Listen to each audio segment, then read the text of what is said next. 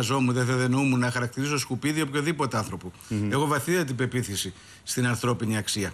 Χαρακτήρισα συγκεκριμένα στατιστικά δεδομένα που παρουσιάστηκαν σε μια άλλη εκπομπή Ως σκουπίδια.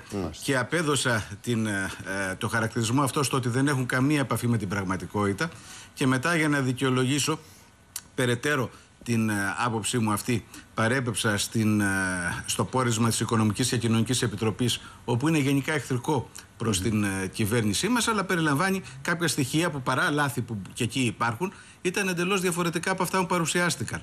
Και μετά περαιτέρω δικαιολόγησα την ύπαρξη αυτών των στοιχείων όχι αφισβητώντας τις ικανότητες υπολείπτομαι ιδιαίτερα και ως άνθρωπο και ως επιστήμονα τον πρόεδρο του Οικονομικού Επιμελητηρίου. Απλώς απέδωσα τα παραπλανητικά αυτά στοιχεία στην ανάγκη του να προστατεύσει το κόμμα στο οποίο ανήκει, δεδομένου ότι είναι μέλος της Κεντρικής Επιτροπής της Νέας Δημοκρατίας και από ό,τι γράφεται και ασθενός συνεργάτης του κ. Μητσοτάκη. Ποτέ δεν χαρακτήρισα ούτε τον ίδιο, ούτε ποτέ κανέναν. Καλώς. Δεν θα διανοούμουν Εντάξει, κανέναν πάντως άνθρωπο να οι- χαρακτηρίσω σκουπίδι. Οι διαφορετικές απόψεις και ο διάλογος είναι στοιχείο της δημοκρατίας. Δεν πρέπει να. Απολύτως. απορρεί Ναι, κανείς ναι, γι' αυτό. δεν είναι στοιχείο. Εάν, εάν διανοούμουν να χαρακτηρίσω οποιονδήποτε άνθρωπο σκουπίδι, θα ήμουν σκουπίδι εγώ ίδιος. Δεν, μεταφ... δεν προάγει στο διάλογο Μάλιστα. και τη σύγκρουση των Σωστά. ιδεών Λοιπόν. όταν τον υποβιβάζεις στο προσωπικό επίπεδο. Λοιπόν, ωραία, σωστά. Συμφωνήσαμε στα αυτονόητα που λένε. Πάμε να ρίξουμε μια ματιά τώρα στη χθεσινή απόφαση. Θέλω να σα- να ξεκινήσουμε την κουβέντα. Αναφέρω, επειδή γνωρίζω ότι είσαστε στην ομάδα που συνέταξε την ελληνική πρόταση, με την νομική στήριξη εννοώ, την ελληνική πρόταση για τον περίφημο κόφτη.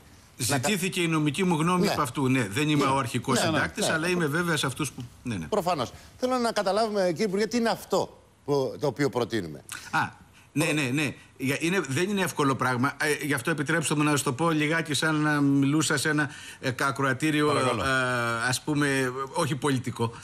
Υπάρχει, είναι στην ε, νοοτροπία τη γερμανική ότι θα πρέπει να υπάρχει ένας αυτόματος κόφτης στα δημοσιονομικά μεγέθη.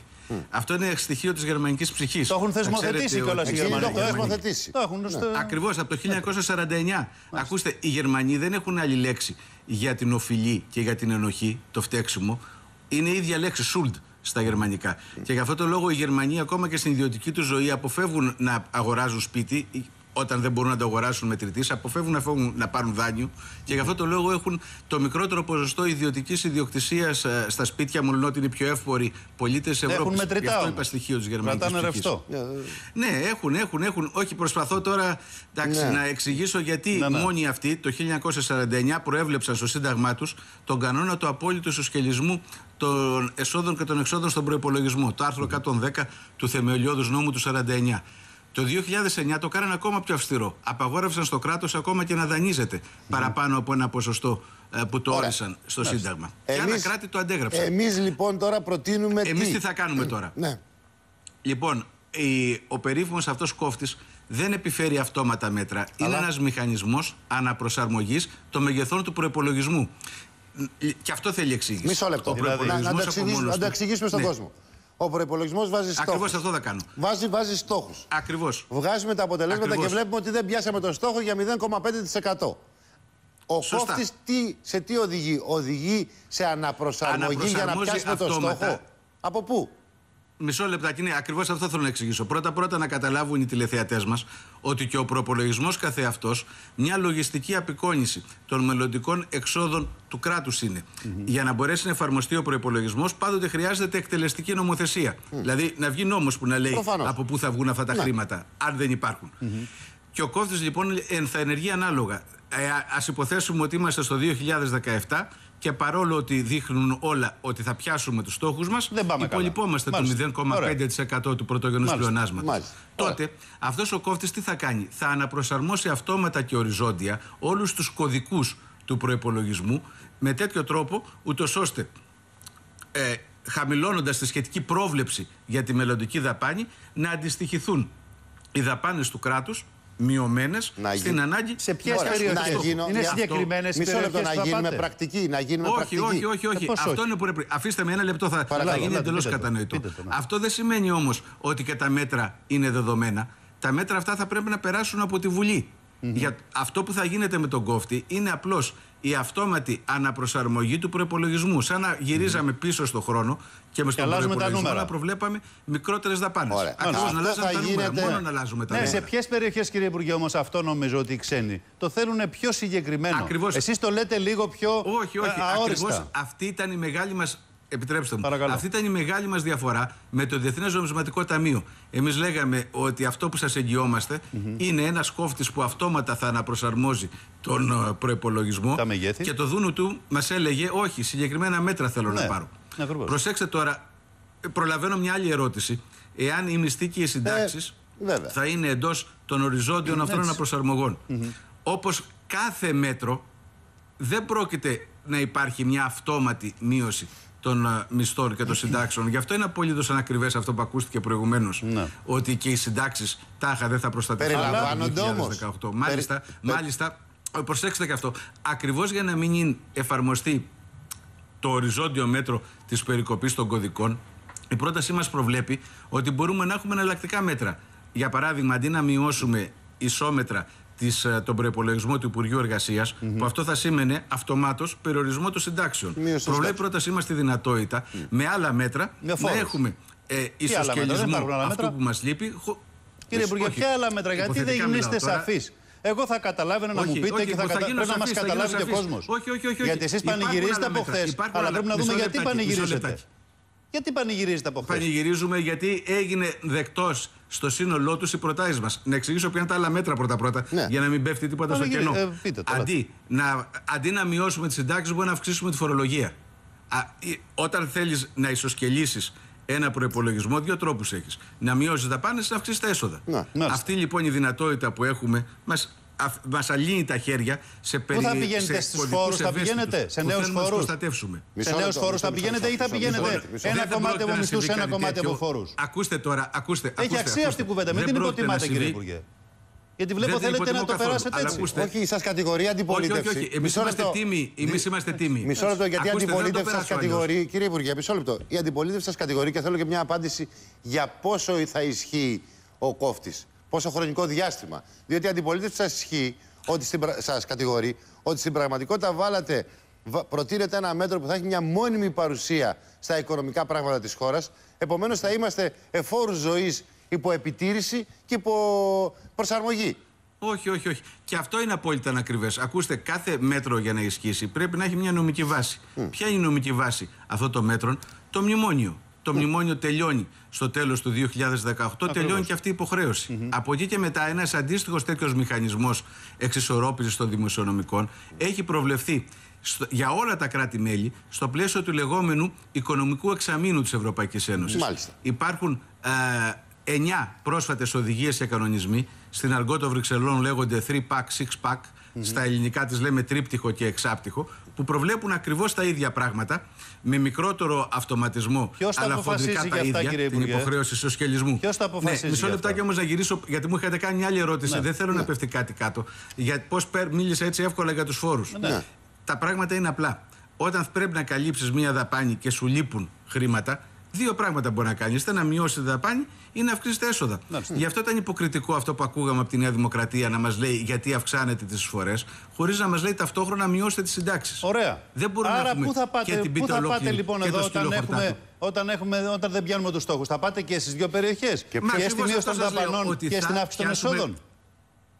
Ακούστε, γιατί πείσαμε τους Ευρωπαίους; Γιατί πείσαμε τους Ευρωπαίους και δεν πίστηκαν από το Διεθνές Νομισματικό Ταμείο; Γιατί το Διεθνές Ακόμα δεν έχουμε Νομισματικό τελειώσει Ταμείο και πάντως. τώρα έλεγε περιμένουμε δεν να πιάνουν δούμε. τους στόχους τους. Γιατί ο κύριος Σακαλώτος είπε ότι ο Όχι, διάβολος όχι, όχι, κρύβεται όχι. στις λεπτομέρειες. Α δούμε τι θα νομοθετηθεί, τι θα εννοείται, συμφωνηθεί. εννοείται. Μιλάμε καταρχήν με τα δεδομένα που έχουμε. Εντάξει, αλλά άλλο το είναι εντάξει. το επιχείρημά μου. Το επιχείρημά μου είναι ότι το Διεθνές Νομισματικό Ταμείο έλεγε ότι και το 2015 έλλειμμα έχετε.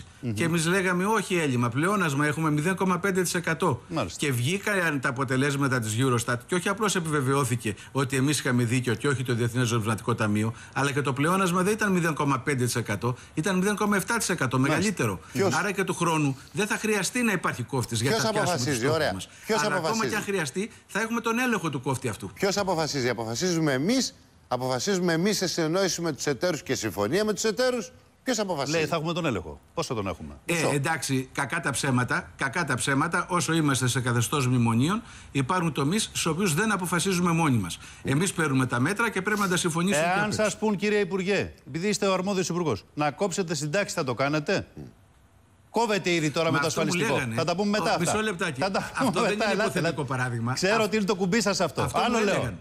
Λέω, αν σας πούν στο Ναι. μέλλον, έρχονται οι κακοί ξένοι και σας πούν, παιδιά, ελάτε εδώ, δεν πήγατε καλά στα νούμερα, δεν βγήκε το 5,4 που περιμένουμε. Πάρτε μέτρα και κόψτε συντάξεις, θα σας πει. Τι θα κάνετε; Όπως έκανα και τώρα, θα βρω εναλλακτικούς τρόπους. Αυτό με ρώταγαν και μου το ρωτούν ακόμα. Πώς προστατεύσατε τις κύριες κόψετε όλα τα υπόλοιπα. Και ταυτόχρονα ε, ισχυρίζεστε ότι μειώσατε την ε, συνταξιδοτική δαπάνη κατά 1%. Και απαντάω πάντα, κοιτάξτε τα νούμερά μας. Πράγματι, μειώσαμε τη συνταξιδοτική δαπάνη κατά 1% και πράγματι προστατεύσαμε απολύτως τις κύριες συντάξεις. Άκουσα πάλι και αυτό το παλαβό προηγουμένως στη συζήτηση, ότι έχουμε οριζόντιες μειώσεις στις κύριες συντάξεις. Ενώ ο νόμος είναι ψηφισμένος, όχι απλώ Μετά το κατευθυνμένο, 18. ψηφισμένος. Και προστατεύει Μετά απολύτως. το 18 Πώς το που κάναμε θα αυτό; φύγει η προσωπική διαφορά; Όχι, όχι, όχι. Αυτό το είπε μετά. Προηγουμένως είπε δεν είναι παρόν και δεν θέλω να αναφέρω. Εντάξει, αυτό. εντάξει, εντάξει. Είναι μια κριτική Προηγουμένως που Μας ασκείται μίλησε τώρα θα πάλι. το ρωτάω κάτι σε που δεν μου οριζόντιες απαντάτε όμως. Μου πάτε μειώσεις. σε μια θεωρία. Κύριε Υπουργέ, Όχι, θα είναι απαντήσω, θα συγκεκριμένο. απαντήσω, θα απαντήσω. Και λέω, Θα απαντήσω, θα εάν απαντήσω. έρθει το Θα κακό απαντήσω. του νοτού και η Τρόικα και πει παιδιά δεν πιάσατε τα νούμερα, κόψτε μισθούς συντάξεις. Συντάξεις εν προκειμένου. Τι θα κάνετε; Πρώτα πρώτα σας λέω ότι κάτι τέτοιο δεν πρόκειται να συμβεί. Δεύτερον σας λέω ότι αν κάτι τέτοιο συμβεί, πάλι υπάρχει λύση της αύξησης της, προσωπι... της προσωρινής των εισφορών ή της ενίσχυσης από τον κρατικό προϋπολογισμό με ειδική φορολογία. Πάλι Κακά τα, ίδια. ψέματα. Πάλι τα δεν ίδια υπάρχουν δηλαδή. Πάλι σε άλλοι φόρου θα Δεν μα υπάρχουν φορτώσετε. άλλοι τρόπους. Κύριε Υπουργέ, έχετε Να καταλάβει μου ότι η λέτε κοινωνία τώρα, έχει με βάλατε, διαλυθεί. ακούστε, από για αυτό τους το λόγο φόρους. δεν πρέπει να απαντά κανείς σε Όχι, υποθετικές όχι. ερωτήσεις. Άλλο Εγώ λέω. σας λέω Μα δεν είναι ότι υποθετική ακριβώς- ερώτηση. Είναι ένα Όχι, σενάριο ακούστε, πραγματικό ακούστε που να δείτε. καθόμαστε και το Ακούστε να συζητάμε, δείτε. κύριε Υπουργέ. Δεν είναι Όχι, υπόθεση ναι, εργασίας. γιατί συμβαίνει αυτό. Συζητάμε με την Συμβαίνει Τρόικα. γιατί Είναι βάλατε υπόθεση στη συμφωνία, εργασίας για που βέβαια. Βασίζεται. Η ερώτησή σας δεν είναι κακόπιστη, είναι καλόπιστη. Μα είναι Γιατί στη πράγματι συμφωνία. βλέπουμε πολλές φορές. Ναι, επιτρέψτε μου να το πω αυτό. Ναι, μην- μην παρακαλώ, διαλαμβάνω ελάτε, στη φωνή ελάτε, μου. ελάτε, ναι. Λέω, ναι. Λέω λοιπόν το εξής. Γιατί μέχρι τώρα έχουμε όλο αυτό το, τις- την- το, το φαινόμενο στόχοι να μπαίνουν και να μην βγαίνουν, κυρίως από τους προηγούμενους. Εμείς σας είπα, ένα χρόνο κυβερνάμε και περισσότερα αποτελέσματα από εμά είδαν. Και ακριβώς για αυτό το λόγο μας εμπιστεύτηκαν σε αυτό το Eurogroup. Ακριβώς γιατί η οικονομία έχει μπει σε αυτό το φαύλο κύκλο της λιτότητας που ουσιαστικά αυτό αναπαράγεται.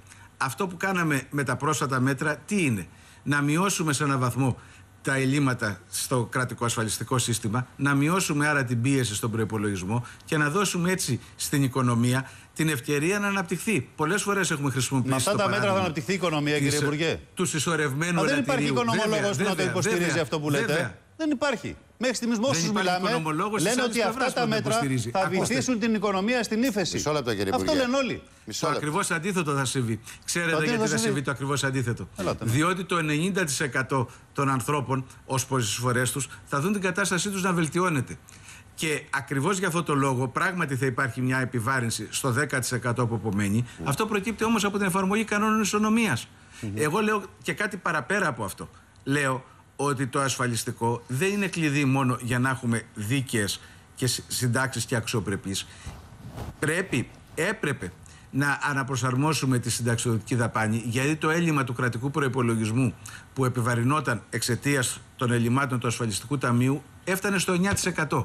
Και αυτό φρέναρε συνολικά Θα την το οικονομία προς συζητήσουμε τα το κάτω. ασφαλιστικό σε Τώρα, λίγο. λοιπόν προσπαθούμε Γιατί- να φτάσουμε τις δυνατότητές μας Θα εκεί το που συζητήσουμε, είναι. κύριε Υπουργέ, σε λίγο το ασφαλιστικό, γιατί και εδώ οι 7 στους 10 είναι χαμένοι, όπως λένε όλες οι αναλύσεις. Και επιπλέον, σε 3-4 Μα όχι. χρόνια Ε, πάλι εδώ θα εννιά είμαστε στους να δέκα είναι συζητάμε κερδισμένοι για μια και θα σας καινούργια αποδείξω με αναδιάρθρωση του νούμερα. ασφαλιστικού. Πάλι τα ίδια θα λέμε σε Θα 3-4 μας πείτε και με χρόνια. βάση τα νούμερα. Μισό λεπτό. Όχι. Α, Όχι. όχι. Μισό, α, ε, όταν θα πάμε το σε πείτε, σε- λεπτομέρειες θα το σας πείτε, θα πω. το πείτε. Αλλά αυτή είναι η βασική διαφορά. Μια λέξη. Αυτή είναι η διαβασική διαφορά τη δική μας παρέμβαση από τον προηγούμενο.